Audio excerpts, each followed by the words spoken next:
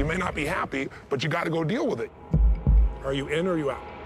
If you don't do it, we're done. I'm gonna make you do stuff you don't want to do, Woo! face things you don't want to face. Push! It'll be an experience where life will never be the same again.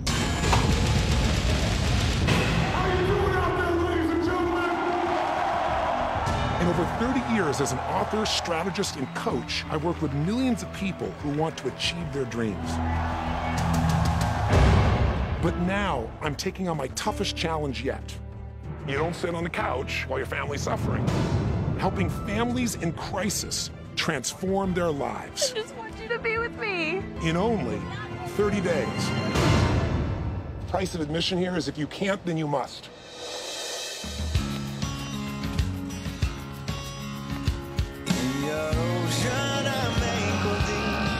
Keep going. There's only one way to figure out. Do not quit on yourself. You let me try?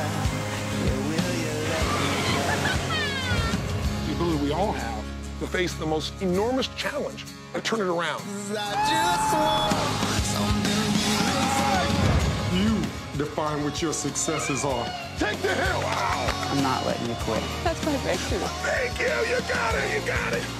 I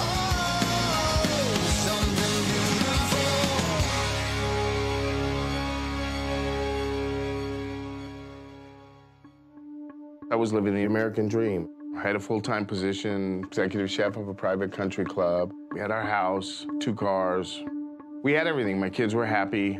I had somebody that I loved dearly and somebody that loved me. It was an unbelievable life. Everything was perfect prior to June 29th, 2006. My wife was killed in a drive-by shooting. My wife and my son Anthony, we were walking hand in hand across the street. Two men were arguing. My wife saw the handgun, pushed my son behind this wall, so he was out of the line of fire, and she fell to the ground, and that was all he, my son remembers. Yeah. My mom was shot and I was there. It's hard. Every day is hard. That day, I remember telling her, I love you, and she said, I love you too, and I kissed her on the top of the head. And that was the last time I saw her. Since my mom was shot randomly, my dad, he like, he, he haven't been the same. My life, you know, was just pulled from me. Lost my job, lost my home, and we all ended up homeless. My dad's hurt. I just want my dad to be better. I want my kids to think of me as a winner, not, you know, not some loser. You know, I want them to think of me as, that's my dad. Let me tell you a little bit about John Rodriguez. He was a man who had huge dreams. He wanted to be an incredible chef, and John found a way to do it. He worked hard, and he convinced people of his passion, and he got a scholarship. He graduated with honors, and he became what he dreamed about, this extraordinary chef. He then married the woman of his dreams, and he had two beautiful boys. John's life couldn't be better until one day when a tragedy beyond anything he could ever imagine happened. John died emotionally and spiritually that day. He lost his will to live. And now, a few years later, he's still living in a shelter with his two boys, trying to figure out how he got here.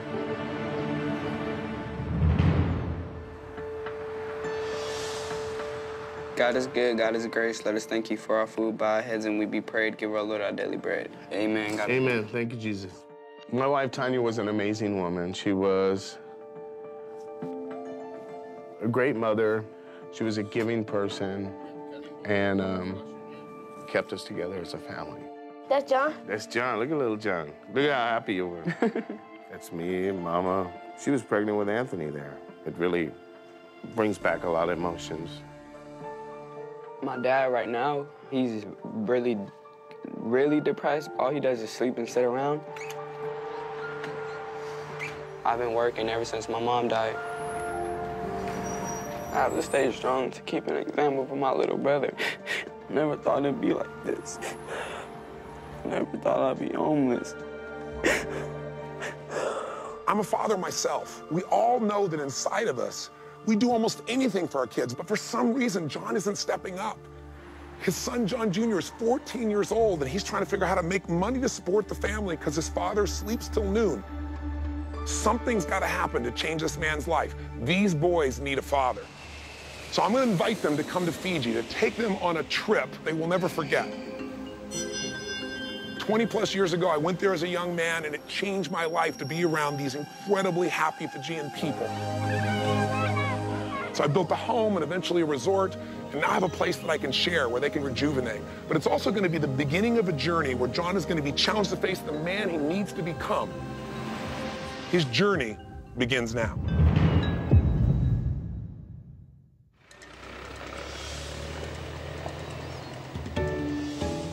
Welcome, welcome to Namale.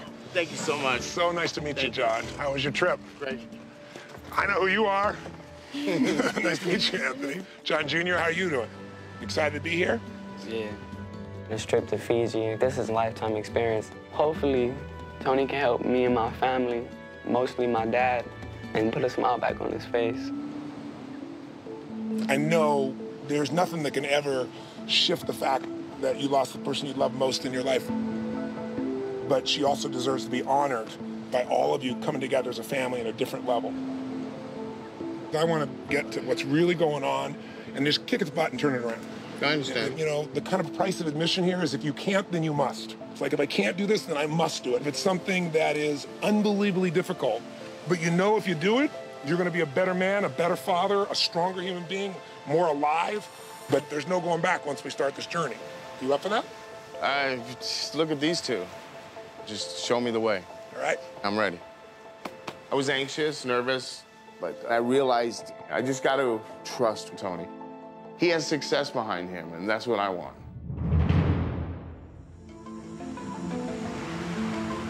When your wife passed, tell me what did you experience? It was like my, my life was, was stopped, and my children and I ended up on the streets with a bus pass. I had no way of coping with it, and it was, I had to go back to my first love, which is food. I just sat there and gained 70 pounds. Seeing myself just get larger in the mirror and then just messing with my head, it's just, mm-hmm. it's not a comfortable feeling.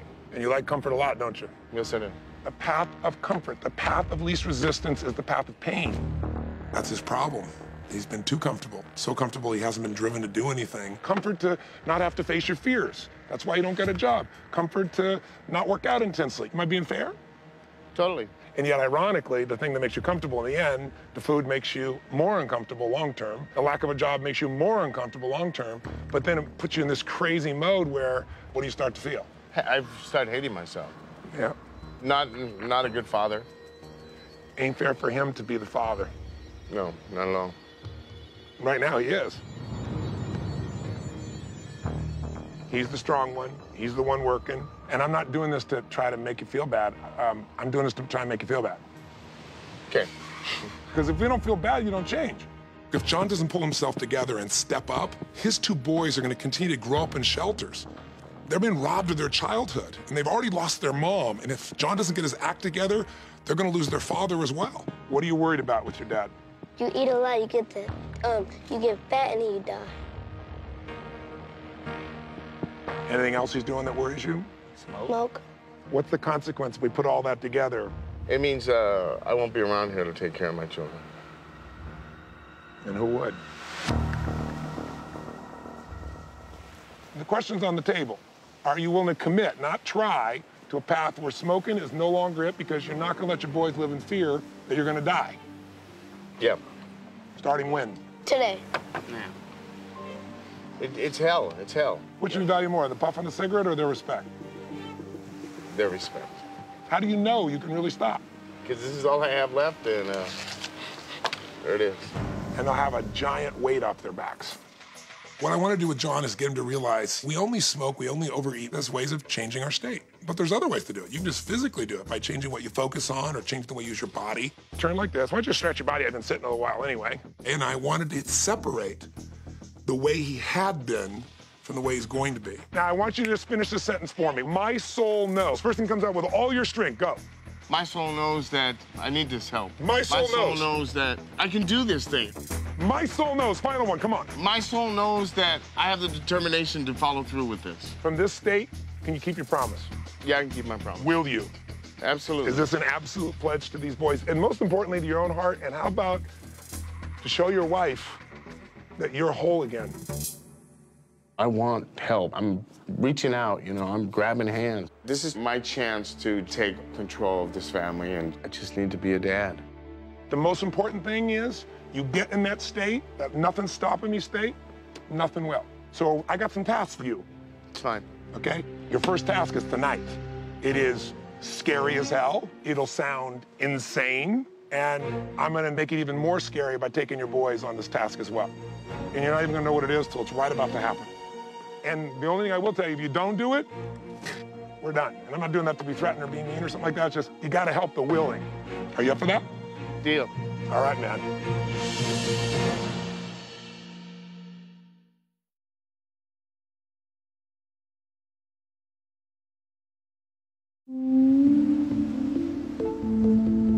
You scared? Mhm. I wanted John to face his fear, because that's where all the power is, the muscles and facing the fear. Come on out, guys. I've got to test his will by putting him in an incredibly challenging physical environment. And let's see what he's really up for, what he's really committed to. You came out in the middle of the night, now know what's going on.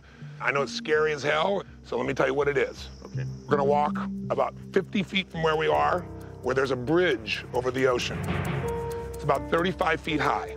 You're gonna hold hands and you're gonna take your boy and you're gonna leap into the absolute unknown. And once you take the leap, the rest of it's just fun. It's just those first moments, like the hardest part of working out, getting to the gym, right?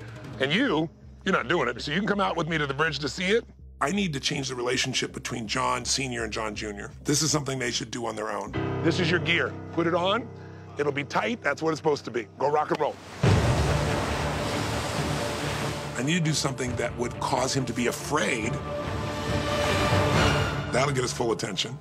Because all we care about is that he faces his fear. Is he willing to take the step? It's all perception. Yeah, done. Hey, holding up, champ. Scared. For John Jr. to see his dad, who would never take a risk, take a big risk, I think it means hope. When I say one, two, three, you're holding hands, you just jump, no hesitancy. All right, come on with me. You get on this side and grab my hand, and we're gonna take a walk down here. This is a leap of faith, baby. It was very dark. I was scared, I was nervous, but my son was right next to me, and I was the father, and I couldn't show that fear. I have no idea where I'm going. I can't see nothing. That's okay, take your time.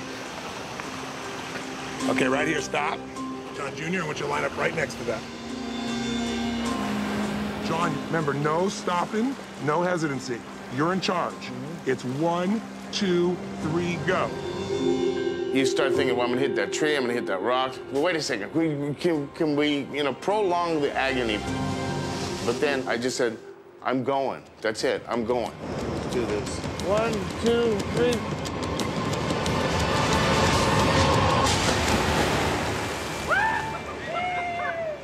As soon as we hit the water, I bounced right up. I had my son's hand. I said, don't worry, John, I, I got you. You know, I got you. Daddy. All I know is it was a great feeling, and it was like a rebirth. That's my boy. It was kind of spiritual feeling to be in the water with my son like that. In a matter of seconds, we switched roles. You know, it was like, you're the, you're the child, I'm the dad. I felt something that time. I really did. I had to take charge and be the daddy again. It felt good.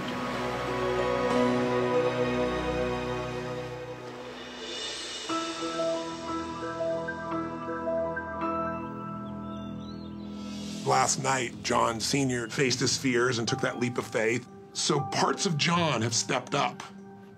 There's other parts of John that are still immature.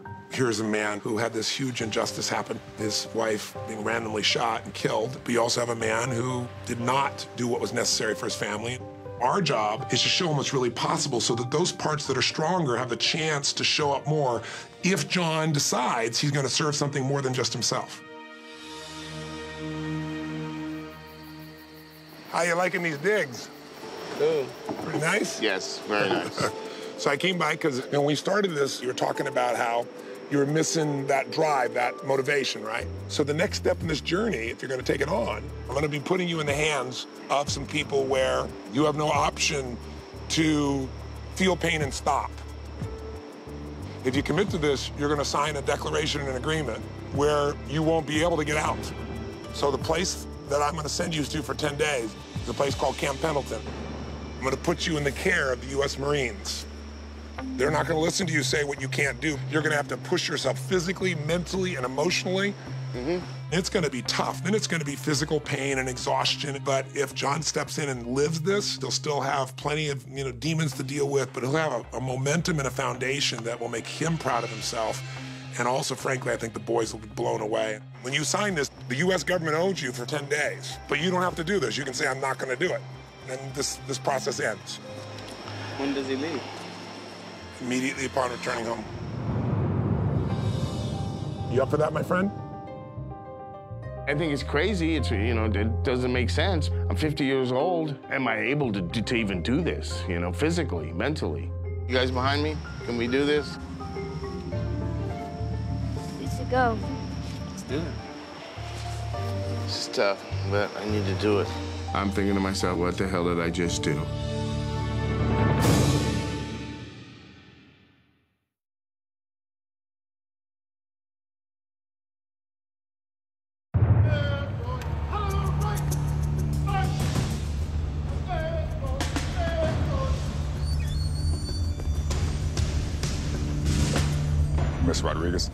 I am Sergeant Major Joel Vines. You were sent to the Marines because of our reputation of courage and commitment. We will not lower our standards. Our combat instructors will give every effort and total focus to train you, and we will accept nothing less from you. Do you understand? Yes, sir. John's in the care, the gentle care of the U.S. Marines. We're here to shave your head, strip your identity, scrape you down, and start you from fresh. The whole point of this is the Marines are going to push him beyond what he thinks his limits are. You're going to pick up that pack and you're going to put it on your back. And my guess is he'll have some ups and downs. We're going to get you out of your comfort zone right away. That's just part of how you grow. And then if you're really committed, you stay on that path, and then you end up having a new life. Let's go. Come on. Easy days are done. And John's not there yet, but he's on the road, and that's our job here, put him on the road.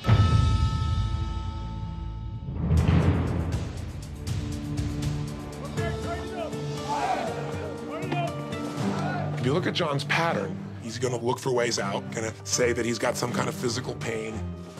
The Marines are gonna do whatever it takes, and John's gonna have to learn how to do whatever it takes. Yeah. Go, John. Feel it. Love it. You pick up that pace, you'll be keeping that pace. You got to get motivated. This is going to be the most miserable 10 days of your life. You're slowing down right now. That's not what I want. You understand? Yes, Staff Sergeant. Okay, listen, we're walking up this hill for a reason. You want to get a little bit in shape? I have no idea why I'm here, Staff Sergeant. Well, how about your kids? You want to be around for them, right? You want to be around to see them get Yes, married? Staff Sergeant. Well, you ain't gonna make it right now. I'm telling you right now. You need to burn that off. Burn that fat off your body. You need to put out right now. Do you understand me? Yes, Staff Sergeant. Why are you walking like that? Your feet hurt? My right foot is swimming in this boot. It's hitting the back of my heel. You know nobody feels sorry for you, right? It's fine, Staff Sergeant. You're, you're right, it's fine. had a blister. Eventually, it was like the size of a 50 cent piece, and every movement in my shoes and my boots, I felt. It ain't gonna be easy, John. Keep it pushing. Let's go. That blister got to the point where it's like, that's it. I'm going home, I'm gonna lay down, that's it, I'm done. You're not gonna quit on us. Let's go. Come on. We'll not quit. That is not an option. Let's go. Relax. Deep breaths in through your nose. All right, let's go. Get down. Get down. What do you think about this right now? Uh, I don't like it. Somebody tells you when to wake up, when to eat. Matter of fact, grab that apple, stick it up in your face. I think anybody would have been angry to be thrown in a situation like that. I honestly didn't know how severe this was gonna be. I don't know what you were briefed on or whatever the case is, but you can put out max effort and suck it up. This isn't what basically I was told was gonna happen. I didn't promise you anything. We're gonna train, we're gonna work, and we're gonna make you better. And that's just the way it is. Let's go, last hill. You know you gotta get that 45 out the corners? It has to be perfect? Has to be. John's been through so much that people expect so little from John that John also expects so little from himself. He's lowered the bar. We need to raise the bar. So he needed to see some people that had it much tougher than he had it. And one of the most important meetings that I organized was with Staff Sergeant Chandler. It's good to see you. Good afternoon. And I'll let you finish. Thank you. I thought maybe we could go down and run a little bit and get to know each other a little bit better. Sure. Okay. Just gonna throw my leg on. Were you injured in the military? Yes, sir. I got hurt in Afghanistan in 2001. I stepped on a landmine there. And how long after did you retire from the United States Marine Corps? Last year, I stayed in. Um, I ended up going back to Iraq three more times. Ready whenever you are. Staff Sergeant Chandler is a man who got well as fast as he could so he could go back for three more tours of Iraq after losing his leg. I mean, he's a perfect role model for contrast to the standards John has had, at least in the past, for himself. So why don't you tell me a little bit about you? I'm a single dad, 50 years old. Uh, my wife was killed about three years ago. That's tough. Yeah, it is tough. And what you went through is tough. But I think you can what if everything forever. Uh-huh. And you can what if everything so much that you end up standing still. That's no way to live. No. You can walk whenever you want to. Okay. yeah, I've had some obstacles in my life, but nothing like yours. Well, thank you for that. But you can't compare one person's suffering to another because everybody's own thing is their own thing. Seeing you and what I've been going through here for the last week has been, uh, it's opened my eyes to things, you know. Uh, kind of sat down for the last year and let the world go by and, you know, I have no excuse. Uh, looking at you, I mean, you could have cashed them in, you know, said, hey, I'm done, you know, and, and coming to see me taking this time, it, it's, uh, it's, you know, I feel it. Thank you for that.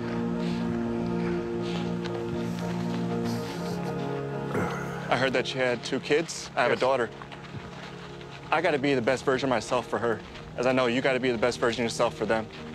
This man's given his leg for me and my children to live free. How can I say, oh, you know, my legs are swollen or this? I've got legs. This showed me that anything is possible. There's no excuse for anything. I can't give an excuse. I need to go on.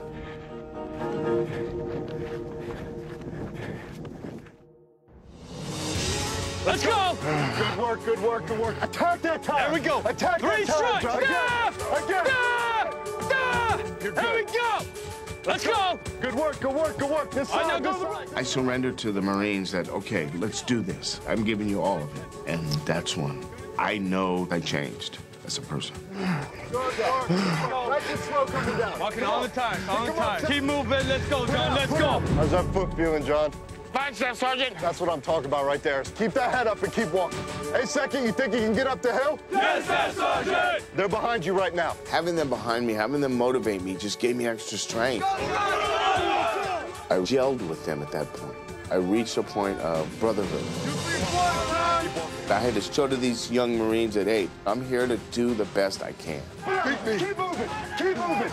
Great job. That's it. Right here. You're done. You did that for yourself. Be proud. These Marines took me to a point where I never thought I would ever, ever, ever be. It's an honor to call them friends.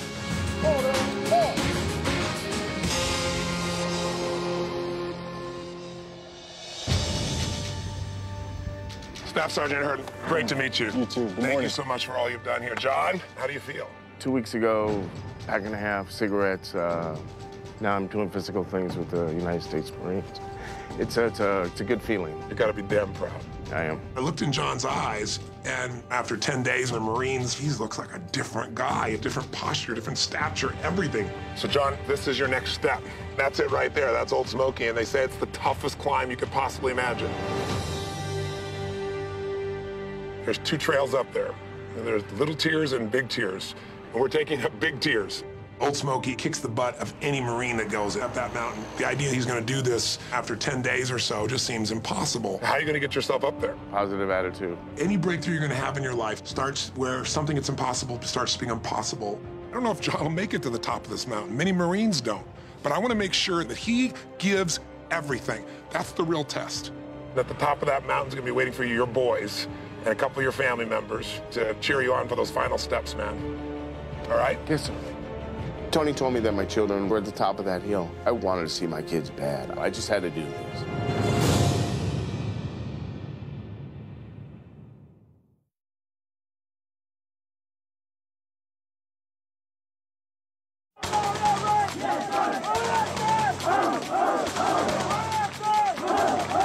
This is it right here. It's time for us to get up there.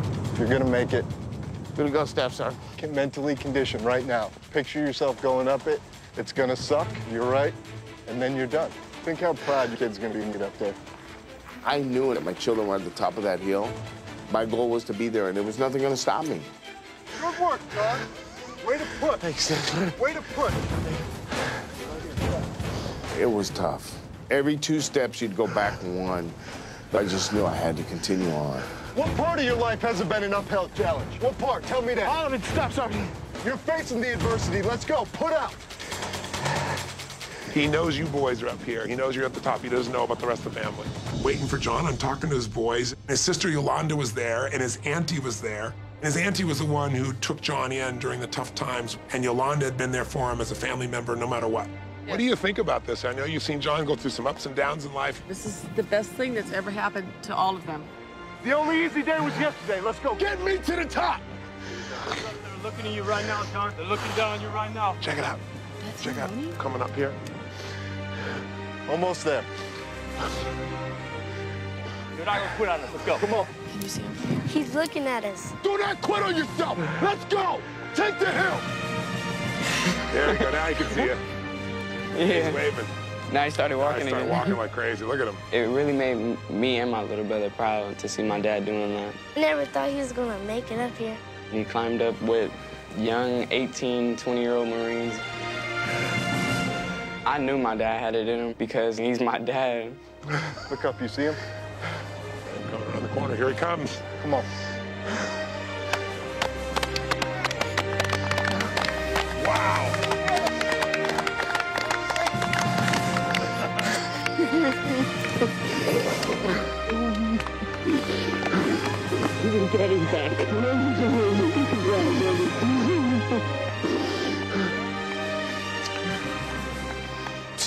Pride in my children's eyes It was well worth all the pain that I went through. Good job, Daddy. Thanks, son.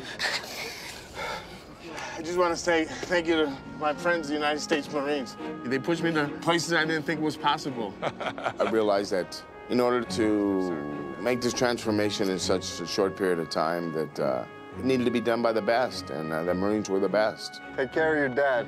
Make sure he keeps up. No, Daddy's taking care of them now. That's the right answer. Daddy's taking care of them. I can move heaven and earth for my children. They believe that. I could fix anything. It was a real good feeling to be daddy again. What does this mean to you, John? I can achieve mountains. I can, I can do it. I can do it. What John learned is if at over 300 pounds, I can push myself up the top of that mountain, if I can do anything I set my mind to, and that was our goal. There's always gonna be a place he can come back to and say, damn, I've done this. Because now you've proven yourself, man. You've stepped up for your boys, You've stepped up for yourself. So the next step is, okay, we've handled the challenges. Now let's just go make the future that you deserve and your family deserve. Do you agree? Amen.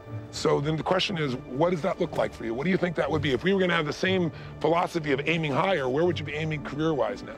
Probably going back to executive chef at a major facility. Your specialty was trained was to be a French chef, is that right? Ah, yes, yes.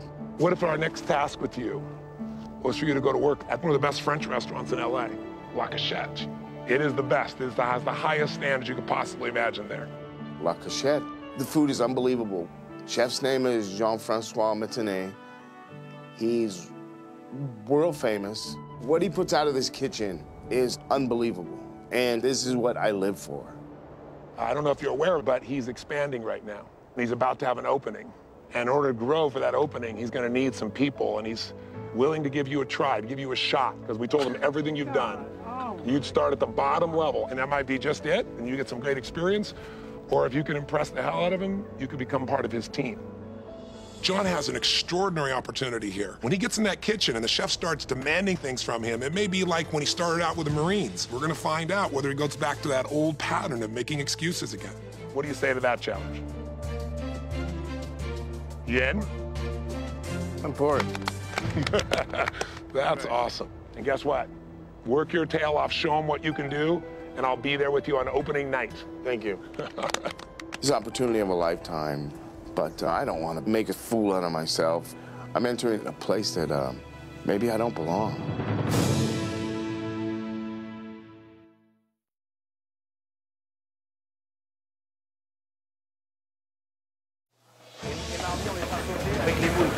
Blanchir à l'eau salée. Hey John, how are you? Nice to meet you. Very, very nice to meet you. It's yeah. an honor. Ah, you idiot. Sit down, we're going to talk a little. Okay. Obviously, we just met. You need to prove to me that you're going to be up to the test. It's going to be rough. Remember, John has been trained at the Culinary Institute of America, so he has it in himself to deliver. You ready to go? I'm ready to go, chef. All right. All right. Let's do it. Let's do it. The question will be, will John really show up with hard work that the chef really demands in this kind of environment? Roberto? Yes, chef? Uh, you're going to take John with you? Uh, I was scared. I have three days to prove myself. And I'm saying to myself, is this what I want? Is this real? Don't cut yourself. If you do well, we keep you a year. Thank you, chef. If you don't do well, You give me a bus pass. yeah, you need to show us then that you really want it bad. Yes, sir. Ah, you got a Band-Aid? You guys survived that one. Thank you. I was more like a prep cook, and I still couldn't even do what he expected of me because I, I lost more than I learned. You want most of the fat off? Yes. I didn't know what was going on. The timing of what we were doing, I didn't know how to get to that finished product. You okay, John? Yes, sir. Make sure there's no smoke on the side. Make sure it's not, yeah, too dark. Here I'm trying to compete in an environment that I, I don't belong right now. Yeah, you're going to have to do everything much smaller. Chef was looking over my shoulder to make sure I knew what I was doing. Whatever you do, John, with us, you're going to have to learn uh, to be very thorough. No, we're not going to cut corners. It was nerve-wracking. I was not accepting this. I was not feeling this. I, you know, I don't want to be made a fool out of myself. Something you're going to have to learn little by little. It's pretty complex. John says he's up for the challenge, but so far he's going back to his old patterns. He's feeling sorry for himself and making excuses and forgetting what this means for his kids, what it means for himself. Nobody can do this for you. We all have to step up. And we're going to see if John really can. Even if you take it slow at the beginning, it's better than to make mistakes.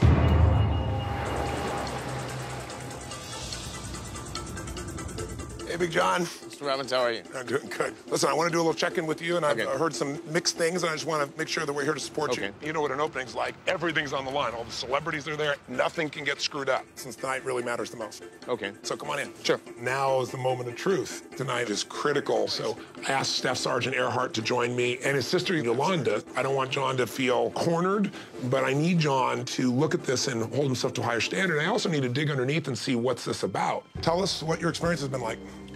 Um, it's been tough these last couple days to get back into the swing of things. Are you enjoying it? Honestly, for me, I'm following recipe. There's no creativity. You don't have an income stream. You can't stay at the Salvation Army more than a few more weeks. So beggars can't be choosers. You know, you've got an opportunity that most people would die for. You need to perform at a level that they'd want to hire you so your kids can be supported. John has got different parts of him that are kind of fighting for dominance. The guy that will sacrifice for his family, or the guy that wants comfort. There's like a little, you know, battle going on in there. My biggest thing is this.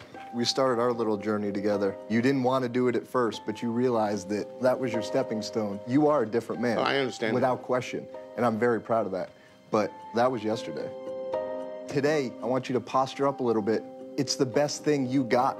I appreciate this offer, but for my career, it's not where I want to be.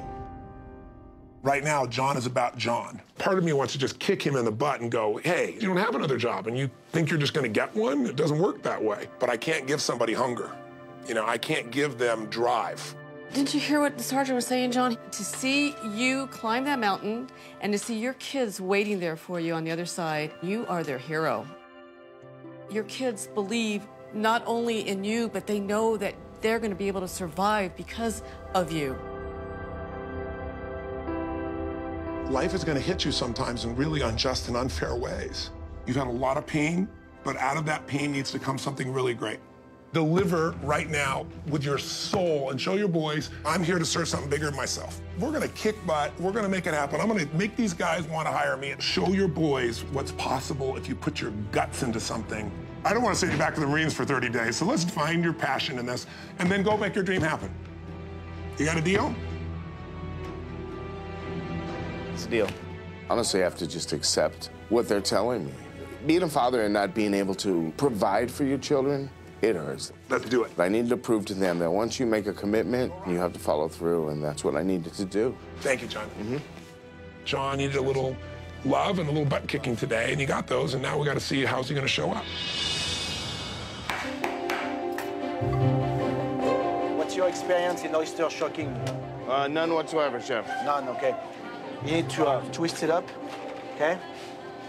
Yes, Chef. John looks a little scared, but we want to see the fire in him, and we need to bring back the excitement from 20 years ago. We have to see it tonight. This one's a little tough. Pretty good at it. I never thought I could do this. I must have shucked 100, and I was kind of proud of myself that I was able to do this. All right, John, go inside, fried chicken. This one's ready. On the size, it's this one.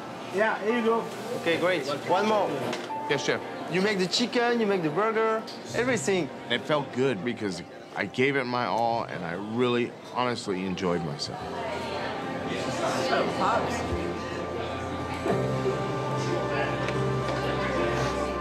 Seeing my sons come in, it got me emotionally because they know this is what Daddy lives for. What'd you make today?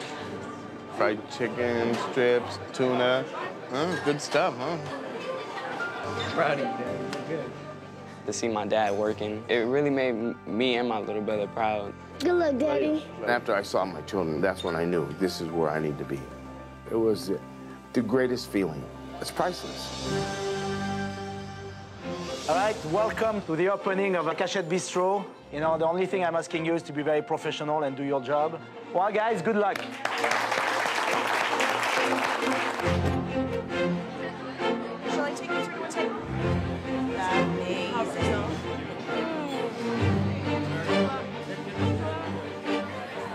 John, how you doing, brother? Good, good.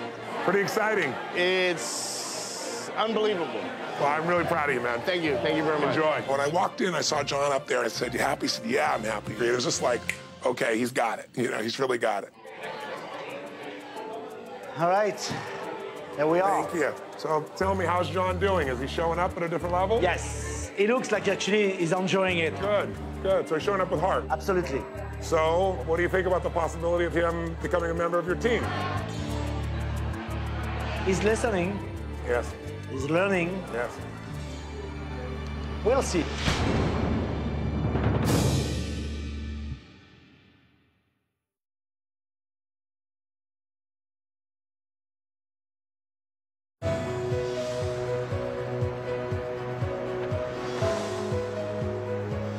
John showed up for the chef and for the team at La Cachette, and he took the spirit of what the Marines are about and just put it into action. But now the moment of truth is here. So I arranged with John to meet me at the Wadsworth Theater and in front of everyone. I wanted John to declare whatever he was going to declare.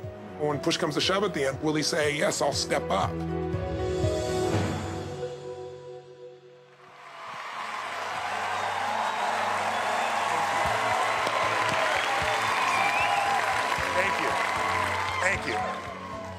Here tonight to celebrate the life of a very special man. His name is John Rodriguez. And also to celebrate his young boys, John Jr. and Anthony. John's story of his breakthroughs is really how the caring for your sons, caring for something even more than yourself, can pull you out of the deepest challenges. And I'm just proud to bring out John Rodriguez and his two sons, John Jr. and Anthony.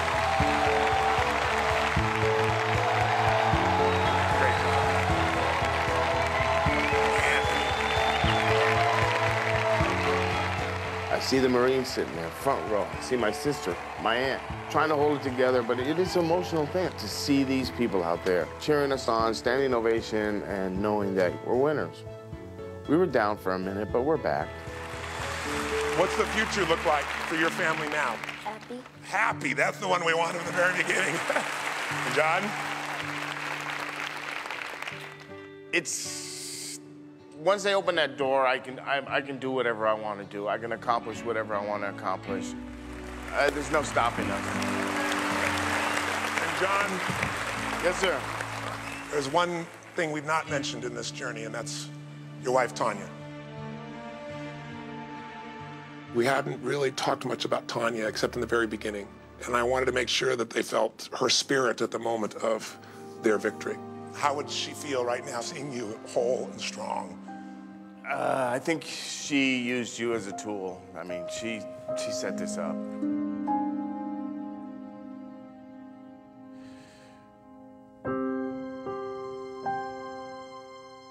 I needed this help to get back into life. Um, part of me died that day. Um, my best friend, my lover, my soulmate, you know, that was, she was everything. And um, this has made me a stronger man and given me my pride back and given me a chance to show my kids that their daddy's still got it, you know, their daddy's ready.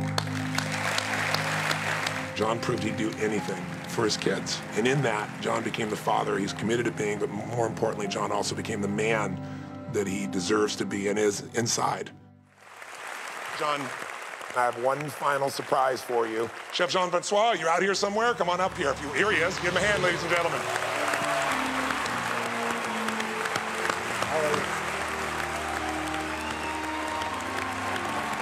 Don't make me cry.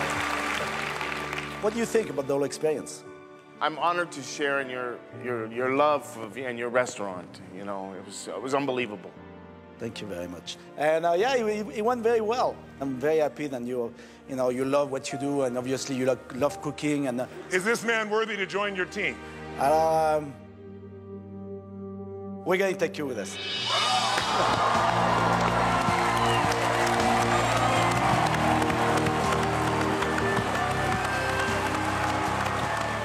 If somebody told me 30 days ago that I wouldn't be smoking, my family and I would have went to Fiji, I would have got to the top of Old Smoky with the help of some Marines, and I got a job under Jean-Francois Meteigner, I would tell him it's not gonna happen. There's no way. Chef Rodriguez, ladies and gentlemen! Tony Robbins, he saved my life and gave me another opportunity in life. Thank you for what you did from the bottom of my heart. Thank you.